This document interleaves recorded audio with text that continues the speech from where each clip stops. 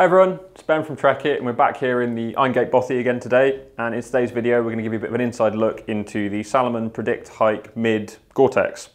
We've got both the men's and ladies versions which we've got in a variety of colours. These are all the colours that we stock. There'll be a link up on the screen somewhere here.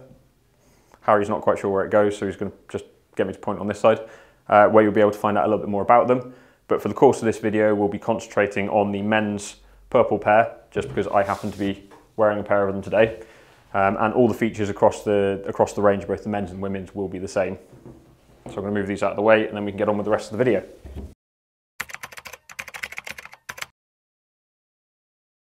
So the Salomon Predict Hike, I'm going to say that because otherwise the name gets a little bit wordy, uh, is essentially a Gore-Tex mid-cut lightweight boot that's designed for sort of light to mid use out in the hills and mountains.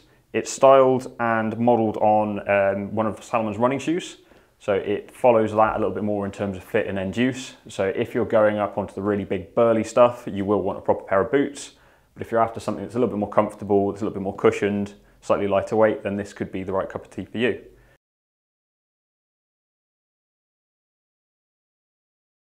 First things first, what's this thing made of? You can broadly split that out into a few different areas, so we'll concentrate on them as a bit of a list as we go through. So we'll start with the uppers, so the outer material on, on these shoes is predominantly a, a, nylon base, so it's nice and lightweight and there are big mesh panels throughout it that are then reinforced with extra lamination layers to provide a little bit more protection without adding too much weight to the, to the picture. Um, and then you get a nice ripstop effect on the rear that provides a little bit more support. Moving on to the membrane, uh, which is the, the Gore-Tex in the name funnily enough, it's a Gore-Tex membrane. That makes a boot like this waterproof and nice and breathable, so it'll keep your feet dry when you're out in some of our very changeable British conditions. Um, Gore-Tex is a bit the old reliable in this, which means that you should be able to chuck these on, go off on your, your wet weather walk and come back with some dry feet.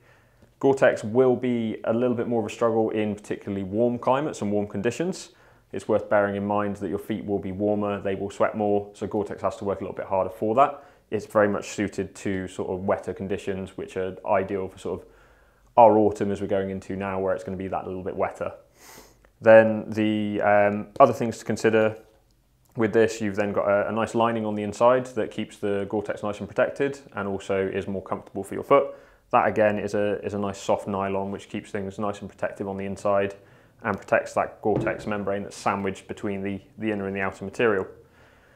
Moving on a little bit further, you've then got the midsole, and the midsole on these you can't really see on the on the Salomon shoes just because they've they've kind of put an all-in-one construction with the midsole and the outsole, with the outsole just bonded onto the bottom.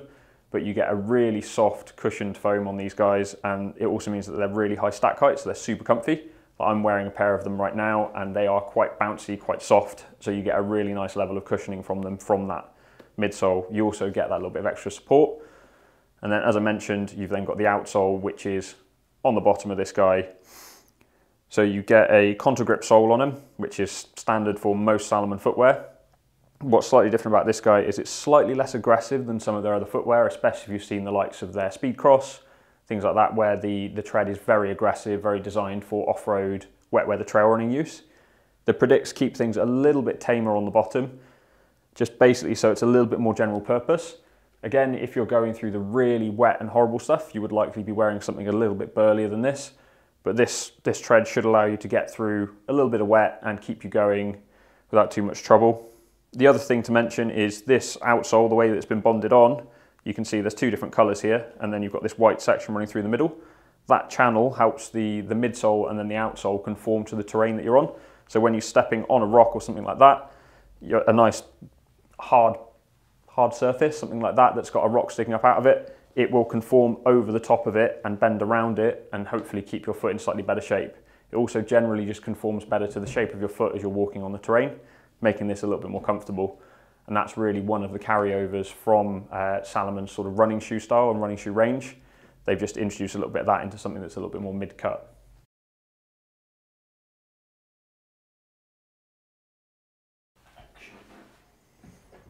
You didn't do the. He did the thing. He did, he did the. Cool. So, what are the features of the Predict Hike? Much like the overall construction of this boot, which keeps things on the lighter weight side, Salomon also kept the, the feature list of this boot fairly small, just because of its end use and an ideal intended end goal with it was to keep it a nice lightweight, comfortable, mid-cut boot that was ideal for sort of lighter weight duties. So first off, as I've mentioned already, it is a mid-height boot, so you get a little bit more protection than you would if this was in its shoe form. So you get slightly higher waterproofing line with that, and also just a little bit more overall ankle protection and stability.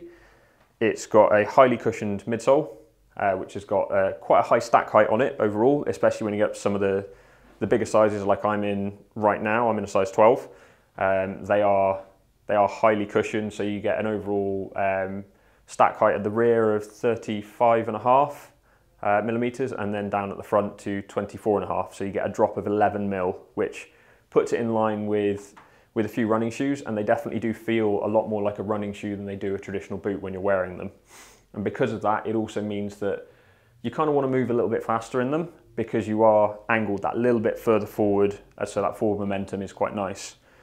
Um, otherwise, you get this really funky colorway. I'm quite happy with this color. I really like it. It's a bit of a retro throwback. Not saying that I don't like some of the other colors that I put down earlier, but I think this really is the color, a bit of a retro throwback.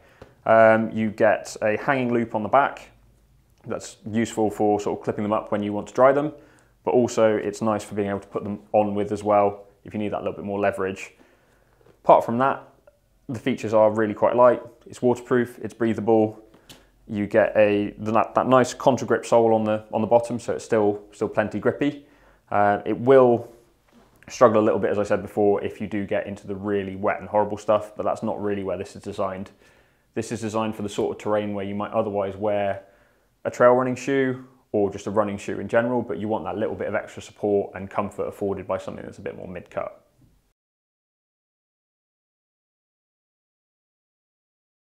The only last section to mention will be how they fit. And fit of footwear is very subjective. Uh, so I can tell you my personal experiences with the footwear, but your experiences may differ depending on the shape, size and style of your foot overall. So as I mentioned, I am a size 12, but despite having very large feet, my feet are, are fairly narrow. They're a bit narrower than average, and they're also very low in volume, so they're very thin feet. So these particular shoes fit me fairly well in terms of the width. I'd say they'd fit sort of a fairly average foot. If you've got wide feet, it might be worth looking elsewhere. Uh, if you still want to be in the Salomon ecosystem, Salomon do have some of their mid-cut models, uh, particularly the Cross Ultra 4. They do a wide fit version of them, um, and the models a bit further up the chain, like the Quest, will be a little bit wider in the toe box. This particular model is definitely a little bit on the narrower side from them, uh, but if you've got sort of an average width foot, then you will fit. It will also take something that's a little bit higher volume than my foot as well. Ideally, these I would volume reduce, but then I have to volume reduce pretty much any footwear I've got because my feet are basically spatulas. Um, otherwise, it's got sort of a nice, a nice hold in the heel, and generally the fit is pretty good. But if you have any concerns over the fit at all, or you just want to give them a go, I would always recommend where possible coming in to see us in the store if you're in any way, shape or form local, booking an appointment for a footwear fit and we can run through the motions of measuring you up um, and putting a pair on your feet that we think are going to work for you. It might ultimately end up with being a different shoe to this, uh, but that's entirely dependent on how we measure you up, what you're getting up to. Uh, so trying these on in store can make a real difference but just general fit notes from trying them on and having a bit of experience with footwear myself is that I'd say they'd fit an average foot with sort of fairly average volume. If you've got particularly deep feet, so high volume or particularly wide feet, you're potentially going to be looking elsewhere for something a little bit similar to this. Uh, a model that springs to mind would be something like the La Sportiva Ultra Raptor Mid, uh, which comes in a wider fit.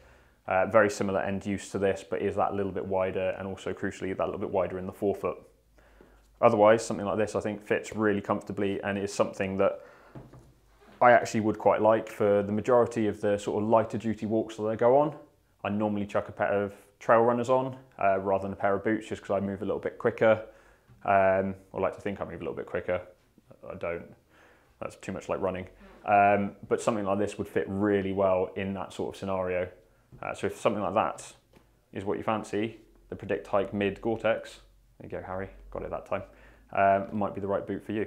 If you'd like to learn more about the Predict hikes, there'll be a link on screen just about now, or if you'd like to look into any of our other footwear content that we post on our YouTube, Harry will pop a playlist on the screen now as well. Otherwise, we'd always ask if you could subscribe to our YouTube channel to keep updated on everything Trekitt, uh, for everything competitions, inside looks, and any other little bits of Trekitt life that we've got going. We'll see you in the next one. Take care.